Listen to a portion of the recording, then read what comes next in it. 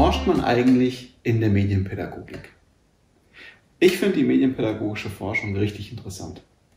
Und aus diesem Grund habe ich, biete ich schon seit, ja, jetzt seit über zehn Jahren ein Seminar an, das ich Forschungswerkstatt Medienpädagogik nenne. Und die Idee dieses Seminars ist ganz schnell erklärt. Ich möchte angehenden Pädagoginnen und Pädagogen und Lehrerinnen und Lehrern möchte ich gerne Spaß an medienpädagogischer Forschung machen. Das ist die Idee. Und ja, es ist, ist zu erwarten, dass dann nach diesem Seminar doch die einen oder anderen begeistert sind von der medienpädagogischen Forschung und ihre Bachelorarbeiten, Masterarbeiten oder auch Dissertationen dann in der Medienpädagogik schreiben wollen. Und da in diesen Beratungsgesprächen, auch in Kolloquien, kam nicht selten dann auch die Kritik oder die Nachfrage erst einmal von Seiten der Studierenden, ja, wie forscht man eigentlich in der Medienpädagogik? Wie kann ich in der Medienpädagogik forschen? Das, was wir in der Forschungswerkstatt gemacht haben, war ja nur ein kleiner Teil. Aber ja, ich möchte die und die Frage untersuchen, wie kann ich das eigentlich machen? Und das Problem ist tatsächlich, dass wenn man sich, ich gebe dann immer den Tipp, schauen Sie sich Studien an, schauen Sie sich ähm, Studien an, in denen Medienpädagoginnen und Medienpädagogen so geforscht haben, in etwa so geforscht haben, wie sie es vorhaben, und lassen sich davon inspirieren. Das Problem ist aber tatsächlich, dass diese Studien, wenn sie denn dann veröffentlicht sind, gar nicht mehr so genau darauf eingehen, wie der Forschungsprozess überhaupt stattgefunden hat, also wie geforscht wurde. Denn häufig ist es so, klar, das interessiert natürlich die meisten einer Studie, was man herausgefunden hat. Das heißt also, äh, wenn Sie sich Studien anschauen, dann fokussieren die eher die Ergebnispräsentation als wirklich die Frage, wie wurde eigentlich geforscht.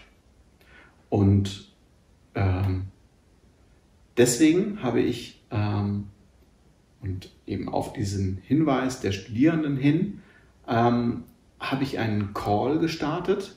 Ein Call ist ein ja, ist ein Aufruf an die Kolleginnen und Kollegen, an die Community, ähm, sich an einem Projekt zu beteiligen. Und eben dieses Projekt habe ich in Anlehnung an das Seminar, aus dem die Idee stammt, Forschungswerkstatt Medienpädagogik genannt.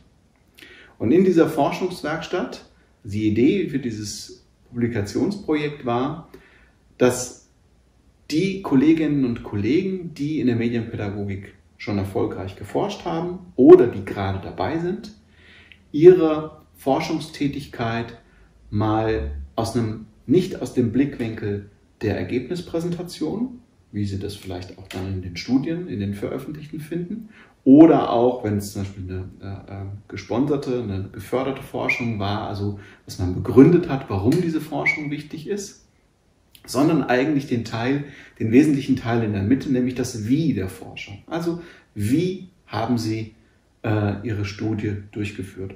Und was gab es da vielleicht, ähm, vielleicht auch für Schwierigkeiten? Oder wenn die Studie aktuell durchgeführt wird, an welcher Schwierigkeit hängen Sie gerade?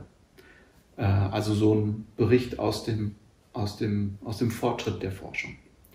Und es war unglaublich, ich habe diesen Call gestartet vor jetzt inzwischen fünf Jahren und es kamen über 50 Rückmeldungen, das ist richtig viel, habe mich sehr gefreut. Ähm, richtig tolle Beiträge und wir haben diese Beiträge zusammengestellt ähm, in insgesamt drei Bänden. Das sind diese hier. Forschungswerkstatt Medienpädagogik. Ähm, und das wäre jetzt natürlich komisch, wenn ich hier in diesen Videos Werbung für meine, für meine Bücher mache. Ähm, aber das Gute an diesen Büchern ist, dass sie eben nicht nur bei Coped erschienen sind, das heißt, man sich diese Bücher natürlich kaufen kann. Ähm, wir das aber so gemacht haben, dass ähm, nur diejenigen, die sozusagen sagen, ich möchte es gerne im Regal stehen, kaufen sich die Bücher. Oder eben die sagen, ich möchte es gerne auf Papier lesen. Für alle diejenigen, weil das war ja eine studentische Idee, die sagen, äh, ich möchte mich nur inspirieren lassen für meine Bachelorarbeit, für meine Masterarbeit oder für meine Dissertation, die finden all das, was in diesen drei Bänden steht, auch online. Ähm, googeln Sie einfach Forschungswerkstatt Medienpädagogik und dann finden Sie ein Repositorium, ein Repository, also das ist so ein, ähm, Ablageort für PDF-Dateien und damit finden Sie exakt das, was Sie hier auch in den Büchern finden. Und wenn Ihnen das sehr gut gefällt, dann können Sie sich ja trotzdem, da freut sich dann der Verlag, das ein oder andere Buch kaufen. Müssen Sie aber nicht, denn die Inspiration finden Sie bereits in den, in den PDFs. Und das ist die Idee dabei. Das heißt also, ähm, die Idee von Studierenden für Studierende beziehungsweise für diejenigen, die Qualifikationsarbeiten in der Medienpädagogik schreiben wollen, Inspiration zu bekommen.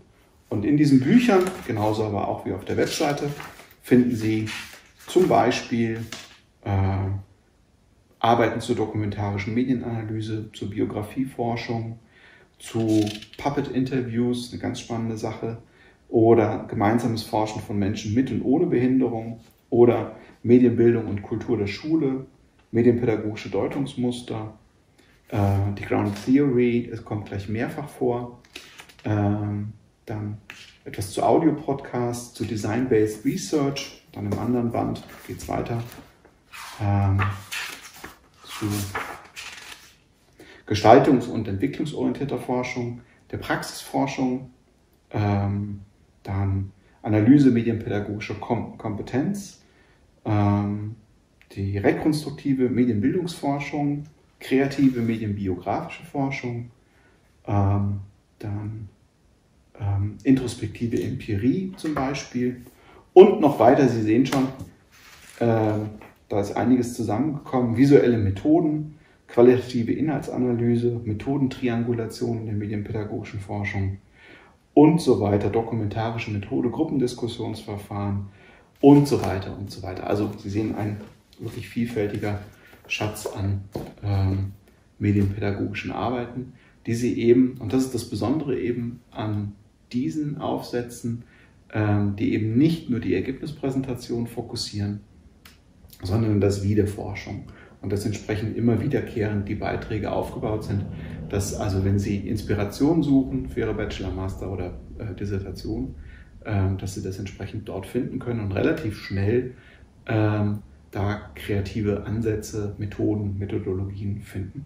Was ähm, beim Thema medienpädagogischer Forschung natürlich auch nicht fehlen darf, ist das Jahrbuch Medienpädagogik 10, das die Kolleginnen und Kollegen Anja Hartung, Bernd Schorb, Horst Nisito, Heinz Moser und Petra Grell zusammengestellt haben.